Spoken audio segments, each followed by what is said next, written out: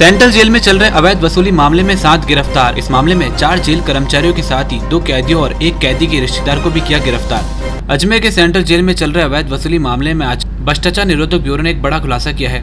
ACB के संभाग स्तरीय साठ टीमों ने आज पूरे दिन अजमेर में कार्रवाई करते हुए चार जेल कर्मचारियों के साथ ही दो कैदी और एक कैदी के रिश्तेदार को भी गिरफ़्तार किया है। जानकारी के अनुसार इस मामले में अभी कुछ और जेल कर्मचारियों व अधिकारियों की भूमिका भी संदेह के घेरे में है, जिनकी जाँच जारी है। अजमेर के सेंट्रल जेल में बंद कैदियों के लिए भले ही इस स्थान को सुधार गृह का नाम दिया जाता है, लेकिन आज इस सच्चाई का खुलासा हुआ है कि सेंट्रल जेल में जेल विभाग के कर्मचारी और अधिकारी साथ मिलकर भ्रष्टाचार के अपराध की स्क्रिप्ट लिख रहे हैं।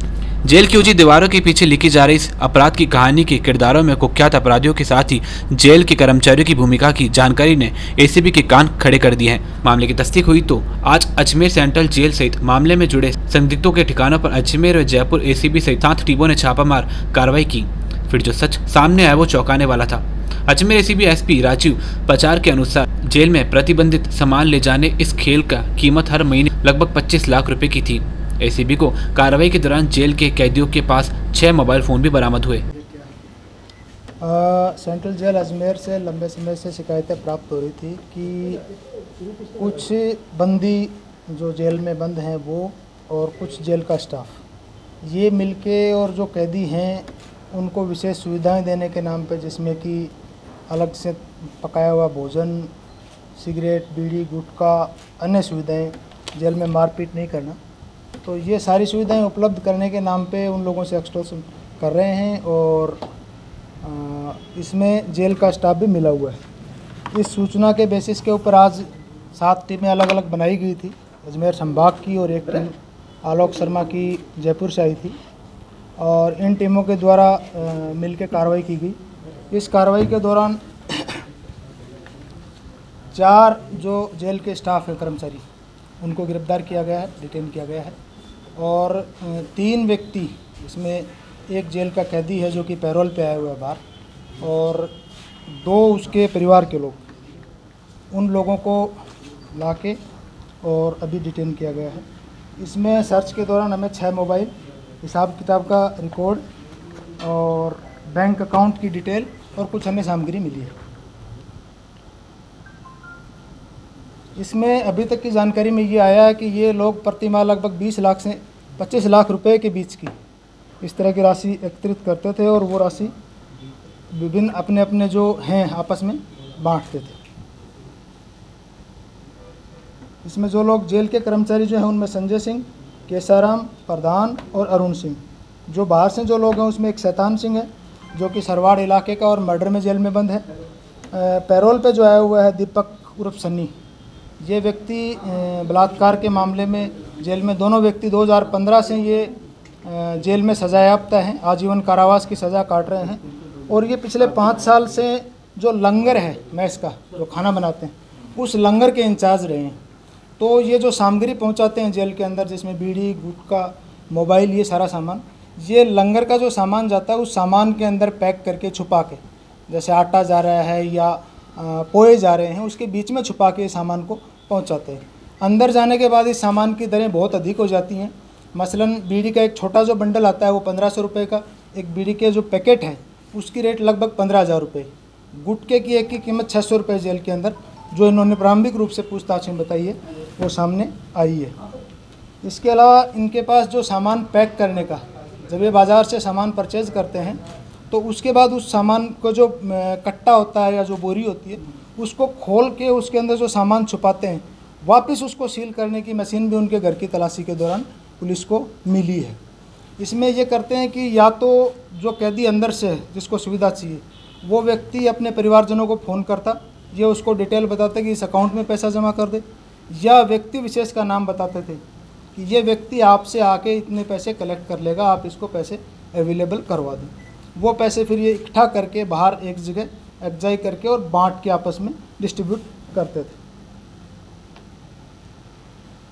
बाकी अभी जेल के स्तर पे तलाशी चल रही है और उनके जो रिकॉर्ड हैं विभिन्न तरह के, जो अभी सीज किए गए उसमें फर्दर इन्वेस्टिगेट किया जाएगा कि इसमें और कितने लोग, कौन लोग इसमें सम्मिलित हो सकते हैं।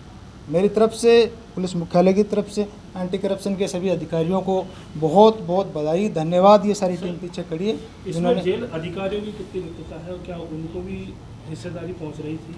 इस संबंध में अभी इन्वेस्टिगेशन करके ही क्लियर किया जा सकेगा। अभी कुछ बताया जाना संभव नहीं जिस तरह से ये बड़े स्तर पर चल रहा था तो कहीं ना कहीं जेल अधिकारियों को इस चीज़ की नॉलेज होगी। और जिस तरह से लगातार मोबाइल मिल रहे हैं जो आप बता रहे हैं मोबाइल भी बरामदगी हुई है और ये सारे जो बातें हैं ये अभी अभी लेके आए हैं तो उसके बाद इंटरोगेशन है जो अकाउंट्स मिले हैं जो डिटेल हमारे पास जो है उसके इन्वेस्टिगेशन के बेसिस पे हम क्लियर करते हैं? सर जो पैसा आता था कैश आता था कि बैंकों में आता था? दोनों तरह से आता था। जिसमें जो कैश कलेक्ट होता था वो सीधा डायरेक्ट रूप से किसी व्यक्ति को जेल के कर्मचारी को पहुँचा दिया जाता था। अकाउंटों में जो आता था वो अकाउंटों में डाल के और बाद में अपने निकाल के वो लोग डिस्ट्रीब्यूट करते थे। दोनों तरह से आ रहा था। हैं अकाउंट फ्रीज करने की कार्रवाई के लिए आज हमने लिखा है। आ, ये दोनों जो बंदी हैं ये लगभग 2015 से आजीवन कारावास से जेल में है। और अभी जो रिकॉर्ड मिला है वो लगभग शायद दो दो ढाई महीने का आसपास का रिकॉर्ड है। बाकी उसके बाद जो पीछे के बैंक अकाउंट है उनकी जो डिटेल है उनकी जो क्लियर होगी उसके बाद इसमें?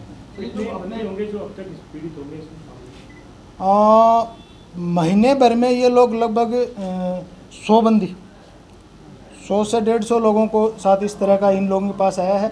इन्होंने बेसिकली ये कॉमन सिस्टम है प्लस बाड़े वाइज जो उनके अंदर जो बने हुए हैं barracks barrack number one two sixteen barrack wise अलग से डिस्ट्रीब्यूट कर रखा है तो वो सारी चीज़ें इन्वेस्टिगेशन में क्लियर हो पाएँगी।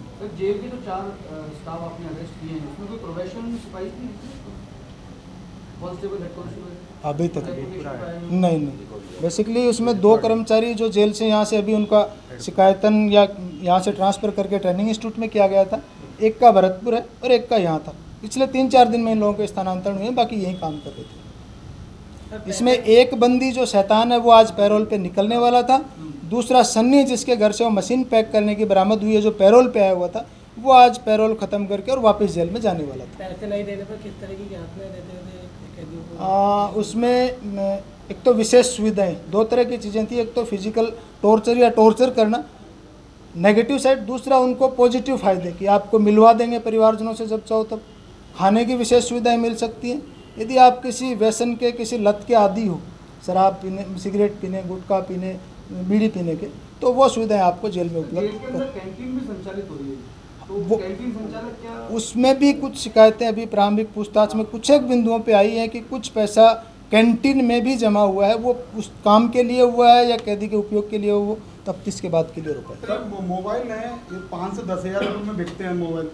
और जेल में जो अजमेर के बंद कैदी हैं करीब में समझो सत्तर से अस्सी परसेंट कैदी रोज़ाना अपने घर पे बात करते हैं। आ, तो जेल में जो अभी तक की जो पूछताछ है उसके हिसाब से जो रेट आई है उसमें छोटा मोबाइल जो कीपैड वाला मोबाइल है।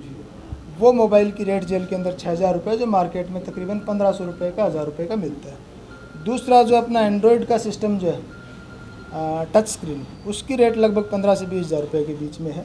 और अभी तक की जो सूचनाएँ हैं हमारे पास, उसमें यह है कि मुख्य रूप से कीपैड का फ़ोन काम में लिया जाता है। एक तो ये कि पकड़ा जाए तो ज़्यादा नुकसान नहीं हो, दूसरा छुपा के ले जाना उसको आसान होता है, छोटा सिस्टम होता है। सर सर कुछ इस तरह पे भी कोई अधिकारी का अभी तक सामने क्लियर कर दिया। सर शिकायत तो किसकी थी इसमें? से मिल रही थी या दोनों ही तरह की थी। वो इंटेलिजेंस जो एसीडी की इंटेलिजेंस है उनकी भी थी और कुछ एक कैदियों की तरफ़ से भी शिकायतें आ रही थी। सर इसके जेमर लगे हुए हैं? क्या जेमर भी इसी पार्ट का हिस्सा है? क्या जेमर बंद करने की व्यवस्था? ये नहीं बता सकते टेक्निकल पार्ट है इसमें। और टेक्निकल क्योंकि एक जी अपग्रेड होती रहती है two G three G four G और दूसरा बहुत से कार्यालय हो सकता है इस कारण भी नहीं हो ये टेक्निकल पार्ट जेल विभाग ही बता पाएगा हमारे। बहुत बहुत।